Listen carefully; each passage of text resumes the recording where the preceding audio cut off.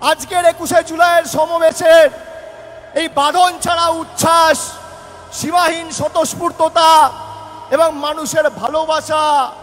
উৎসাহ দেখে আমার দু হাজার দশের একুশে জুলাইয়ের কথা মনে পড়ে যাচ্ছে।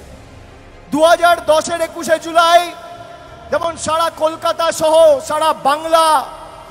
একটা আওয়াজেই মুখরিত হয়েছিল যে আগামী দু হাজার এগারোতে সিপিএম এর বিদায় বামফ্রন্ট বিদায় খালি সময়ের অপেক্ষা আজকের একুশে জুলাইয়েও আকাশে বাতাসে একটাই বার্তা মুখরিত চারিদিকে বিশ্বব্যাপী বিশ্ব বাংলা বলুন ভারত জুড়ে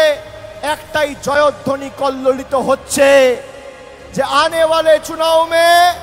2024 में कौन जीतेगा कौन जीतेगा